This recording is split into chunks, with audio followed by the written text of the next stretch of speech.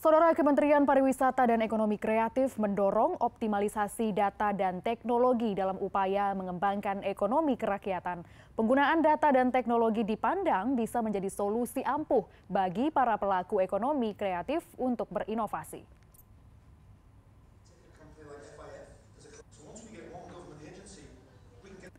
Penggunaan big data dan teknologi yang disorot Kemenparekraf salah satunya seperti yang dilakukan Bumi Farta Teknologi.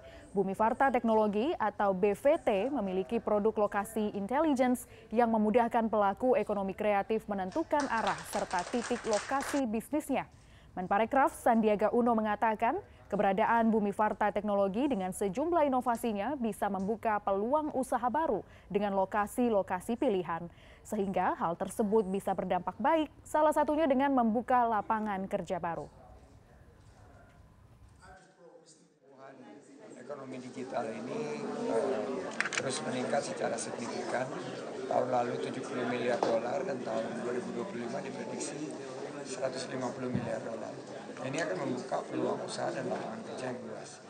Dibutuhkan juga uh, teknologi dan inovasi yang uh, bisa memberikan solusi untuk para UMKM UMKM dan teknologi yang dihadirkan oleh Pak Martin di sini ternyata sangat uh, bisa untuk meningkatkan peluang usaha dan juga pembukaan uh, cabang berbasis uh, lokasi.